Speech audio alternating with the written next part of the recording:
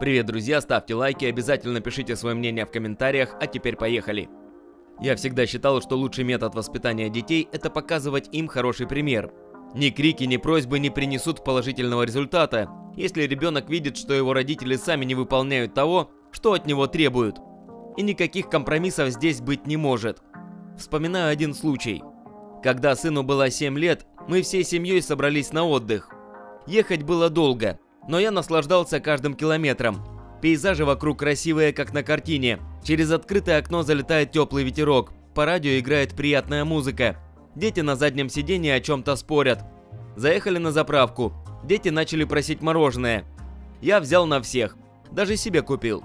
Хотя вообще к сладкому равнодушен, но тут проникся атмосферой лета.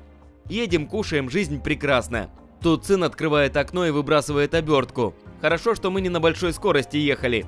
Я смог быстро сориентироваться и припарковать машину на обочину. Вокруг лес, людей нет, только птички поют. Вышел из машины, освободил от продуктов один из пакетов и протянул его сыну. «Выходи». «Куда?» – удивился малой. «Будем мусор собирать с обочины». Сын попытался отпроситься, начал конючить, шмыгать носом. Еще и жена решила за него заступиться. «Послушай пока музыку, солнышко», – попросил я жену и начал объяснять сыну, что пока он не принесет мне полный пакет мусора, дальше не поедем. Никакого моря, пляжа фруктов и сладостей.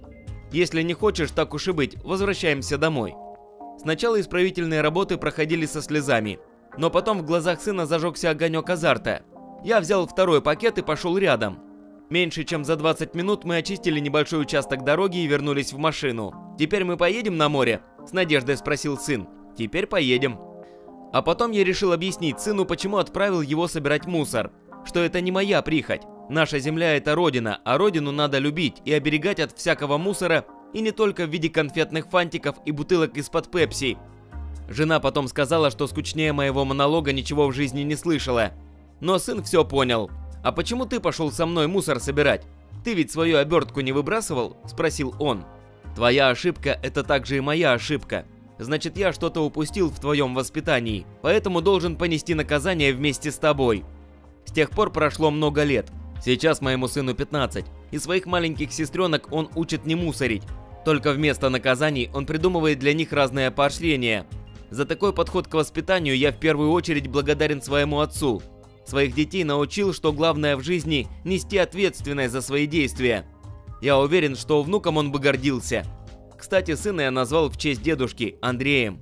А что вы думаете о таком поступке и словах отца? Все ли правильно он сделал? На этом я с вами прощаюсь, подписывайтесь на наш канал, жмите на колокольчик, а также не забудьте перейти на наш сайт Остроумно, странички в Инстаграм и Фейсбук, ссылки в описании.